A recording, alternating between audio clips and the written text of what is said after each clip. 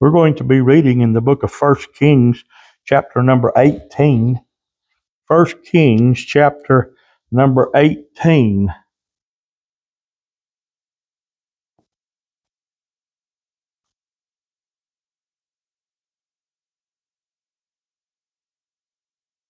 Love to see Elijah. Seems that the life of Elijah was uh, well, in the scriptures, it wasn't too long before Elijah turned it over to Elisha, but uh, Eli- Elijah made an impact uh, on many individuals and many leaders just for his uh, boldness, just for his life. In First Kings, uh, page 413, uh, in chapter 18, in verse number 41, verse 41. And Elijah said unto Ahab, Get thee up, eat and drink. There is a sound of abundance of rain. So Ahab went up to eat and to drink. And Elijah went up to the top of Carmel. He cast himself down upon the earth and put his face between his knees. And he and said to his servant, Go up now, look toward the sea. he went up and looked and said, There's nothing. He said, Go again seven times. Came to pass as the seventh time, at the seventh time, that he said, Behold, there ariseth a little cloud out of the sea like a man's hand. And he said, Go up, saying to Ahab, Prepare thy chariot, and get thee down, that the rain stop thee not. And it came to pass in the meanwhile that the heavens was black with clouds and wind, was a great rain. And Ahab rode and went to Jezreel. And the hand of the Lord was on Elijah. And he girded up his loins and ran before Ahab to the entrance of Jezreel. Lord, we thank you tonight for the privilege to be here. God, we're thankful tonight for the desire in our heart to be found in the house of God. Lord, we know that, uh, Lord, if it's a great day, Lord, if it's not so good a day, God, we know you're the same. Lord, we know that you love us no matter what. Lord, we know tonight, God, that you watch over us and give us this privilege to come together and share the things and fellowship the word. Lord, we thank you for each one that's here tonight. Thank you, Lord, for the good singing. Lord, we pray you just bless each heart tonight, inside and out. Lord, whoever hears these words tonight, Father, I pray God, that their heart would be touched and strengthened. Help us tonight, Lord. I pray you use us for a little while as a mouthpiece. Bless your word. Help you, servant. What you do first, we'll praise you. In Jesus' sweet name we ask. Amen. From the time back over in chapter 17 uh, that you start reading about Ahab, uh, I'm sorry, about Elijah, you'll find that Elijah he, I believe that Elijah's life, he lived close enough to God. Uh, in the, uh, I guess it's chapter 16 there a little bit, you'll see uh, some. But in, in chapter 17, God spoke to Elijah, and because of what was going on, as usual, the Lord said He was going to stop the rain. He said there's not going to be any dew nor rain uh, these years that He says. He's, he's going to stop. Uh, well, he told Elijah what to do. Well, now, uh, you know, any time that these these men of God, these prophets, or whatever, uh, that they obeyed what God told them to do, usually, most always, it was against a wicked nation. It was against an evil king. Ahab had done evil in the sight of the Lord. I believe the Bible even says there in one verse of Scripture, he said in verse 30 of chapter uh, 16, and Ahab, the son of Ormar, Orm, Omri, did evil in the sight of the Lord above all that were before him. So he was an evil king. And God told him, God told Elijah, go down there and tell them, there's not going to be any rain. Well, see, he was taking his life into his own hands. I mean, if he hadn't had the faith You see, church, to me, that's what makes a difference. That's what makes these individuals in the scripture stand out and stand up. They had faith. They trusted God. God told uh, uh, Elijah, go down there. and he done exactly what God told him to do. All right, then God proceeded to take care of him. He said, Go over there by the brook and stay by the brook, and I'll take care of you over there. You, it's important that I understand and that I practice and that I daily trust the Lord. That my faith don't don't question uh, so much what God says to do. If you know He's speaking to your heart, just do what He said. That's what Elijah did. So, uh, as time went on, God used Elijah in, in, chapter 17. He used him several times. In chapter 18, the first several verses, God used Elijah again. Why? Because Elijah obeyed. He didn't question. He didn't know what was going to happen to him by the brook. He didn't know what was going to happen when he told him to go down there in uh, part of chapter part of chapter 17 when he told him to go to to Zarephath uh, where the widow woman was at and uh, the widow's son. I mean, he knew that God was going to take care of him. That's the bottom line. That's what that we need to try to be able to tell individuals, I'm talking about Christian individuals, born again, their life is evident that they're following and, and, and living and loving God.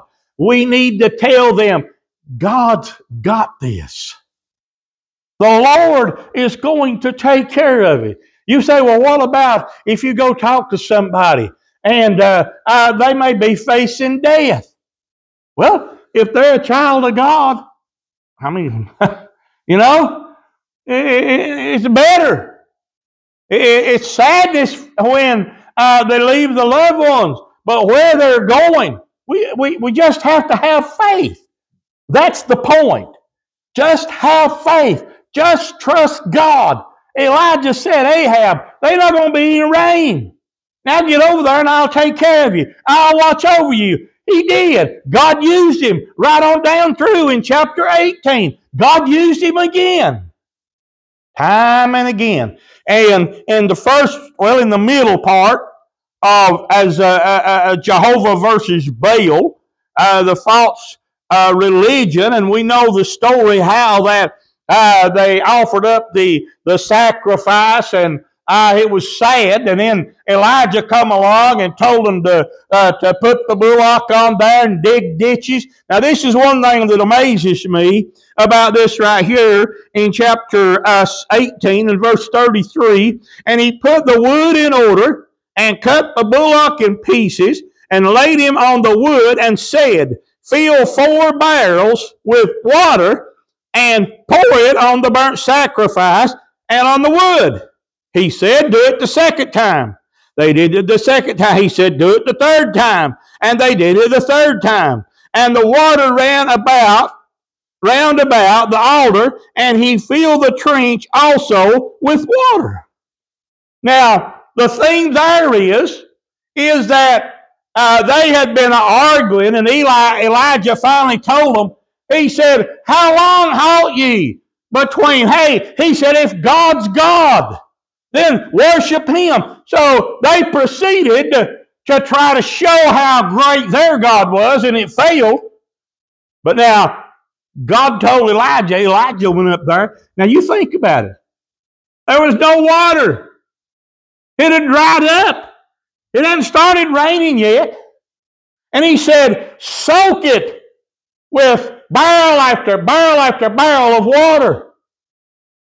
God wanted the people, hey, the, the, the, the problem that we're dealing with, the thing that we're facing, it may seem like it gets bigger every time we get out of the bed, but God has a reason. It's not up to me to play God. It's not up to you to play God. It's not up to us to try to fix the problem. It's just up to us to stay close to God and see what God wants us to do. That's all Elijah done. He obeyed the Lord. He followed the Lord, and the Lord finally told him, He said, Elijah, it's going to rain. Boy, he begins to tell in verse 41 Elijah said unto Ahab Get thee up, eat and drink, for there is a sound of abundance of rain. What, three and a half years it hadn't rained. But now it's going to rain. You can trust what God says. You can listen and obey the Word of God. I said it the last two or three services. And a lot of it is to me. When we are walking in the Word, when we are walking in fellowship and in prayer, and we know that it's God, then don't stress. Don't stress so bad. God will take care of it. Elijah could have thrown his hands up at any point in time and said, I'm not telling Ahab and that wicked bunch that it's not going to rain. But he went. See, every step of the way, God protected, God provided, God watched over him, God used him, God blessed him, He helped him to help families just because Elijah obeyed and listened and followed what God said. And now he's come down to the point where God said, I think the, the one thing that kind of got this started uh, the Bible said in verse 37 of chapter 18, Hear me, O Lord, hear me, that this people may know that thou art the Lord God, and that thou hast turned their heart back again. What about that? What about that? Verse 39, And when all the people saw it, they fell on their faces, and they said, The Lord, He is the God. The Lord, He is the God. You see, the life of Elijah had affected those people that had turned away from God. Everything he did, he said, God. God did it. God did it. I didn't do it. God did it. So once the people repented, once the people started praying, God said, I'm going to send rain again. So he walks out there and he tells uh, uh, King Ahab. Now that's that's something else. Just like telling him uh, it's not going to rain, and then it starts drying up. I've wondered a few times if maybe uh, the king Ahab uh, decided uh, uh, come to his mind at any point in time in those years without rain, if he hadn't ought to hunt down Elijah, he hadn't ought to talk to Elijah. But now we see Elijah again minding God. And boy, I love it. I love it. He said, uh, told in verse 42, Ahab went up to eat and drink. That's what Elijah had told him to do. And, and uh, uh, Elijah went up to the top of Carmel. He cast himself down upon the earth and put his face between his knees. He started praying. He started talking to God. He knowed what God was going to do. The Lord had told him. Now, he he was praying. This this is I mean this is beneficial in so many ways. Ahab could see what he's doing. He was talking to God. And I just I mean it just blesses my heart when when God does something that to people looks so small but it's so awesome and so powerful with God. Just like we was saying, an individual gets saved. This day and age, I mean, I'm honest, church, when somebody gets saved, you don't hear much. You don't hear much about it. But there's one thing about it, if that person really got saved, they're not ashamed to tell you they got saved. They're not ashamed to say, thank God for saying, hey, God does little bitty things that men thinks. It turns out to be mighty big things. He said, and he said to his servant, Go up now and look toward the sea. And he went up and looked and said, There's nothing. And he said, Go again seven times. You see? Elijah's telling him.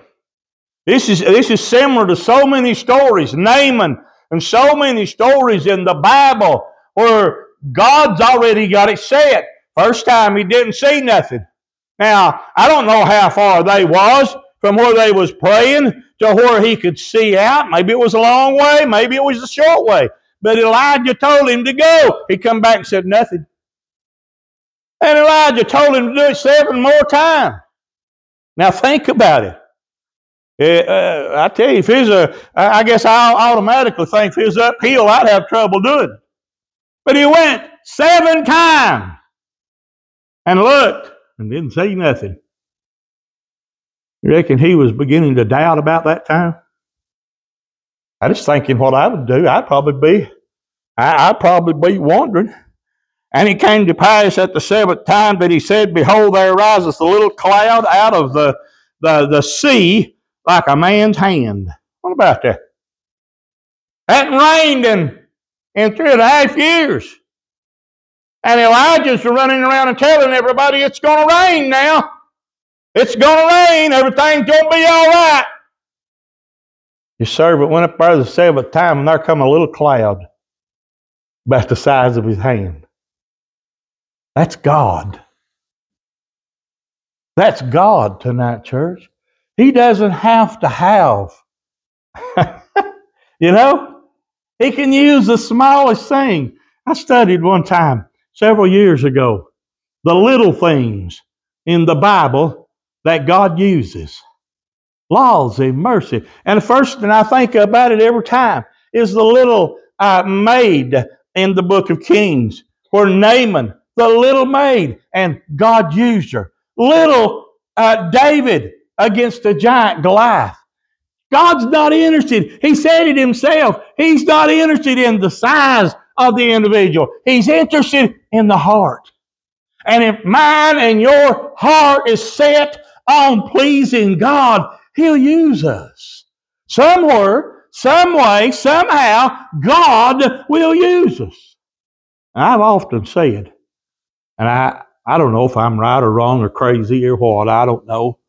But I've often said that I felt like that God uses me the most when I don't even realize it. You say, why do you say that? I said, well, you know, it, it might cause me to get a big head. I might start running around here and say, Come up here and I'll lay hands on you and make you all better. No. But God will use you. He'll use me if you've got the right heart. And God looks at the heart. He knows when we come to the altar, if we mean business, as we want Him as our Savior. He knows when we come to the altar and start praying if we want to be used of God. He knows when we come to the altar if we've messed up and we're wanting forgiveness. God knows everything there is to know. He just wants us to be available like Elijah was. Elijah told him, he said, uh, Go up, saying to Ahab, Prepare thy chariot, and get thee down, that the rain stop thee not. What would you think? What would you think? Just, just stop for a second. If, if it hadn't rained three and a half years, and here comes Elijah, and he says, It's going to rain. Well, his servant goes out there and he sees a cloud the size of a man's hand. And, and Elijah comes back and tells uh, uh, Ahab, "You better get down from here. It's fixing to, it's fixing to rain. It's fixing to rain for real." Well, Ahab, he proceeds. Came to pass in the meanwhile that the heavens were black with clouds and wind. There was a great rain, and Ahab rode and went to Jezreel. And the hand of the Lord was on Elijah. Now listen, you can interpret this, I guess, any way you choose, but he said, And the hand of the Lord was on Elijah, and he girded up his loins and ran before Ahab to the entrance of Jezreel. Now, I don't know about you, but the way I see that, Ahab had his chariots, probably by one horse, two horses, whatever he needed. He had access to getting off that hill. But Elijah had God. Tonight, church, you know that song some of the ladies sings, I believe, every once in a while. I'm a winner either way. When you know God, you're a winner either way. You may have a sluggish day. You may have a slow moment. We may even drift off. But we're going to win as long as we trust God. As long as we just walk with God. Don't say, Lord, what do you want? Where do you want? But say, Lord, what can I do? What can I do, Lord? What can you use me for? That I can benefit. I think so much of that little, uh, that little phrase that's used so often. If every church member was just like me, what kind of church would my church be? Think about that. Every church member was just like me, prayed like I did, read the Bible like I did, invited folks to church. I think I think of Brian. He moved up there in Frank's trailer park, and he hadn't been there no time. He come back and there's somebody there uh, living next to him, and he'd already invited them to church. What we're supposed to do? We can't make them come, but we need to invite them, encourage them. We need to do something for God that He would have us to do.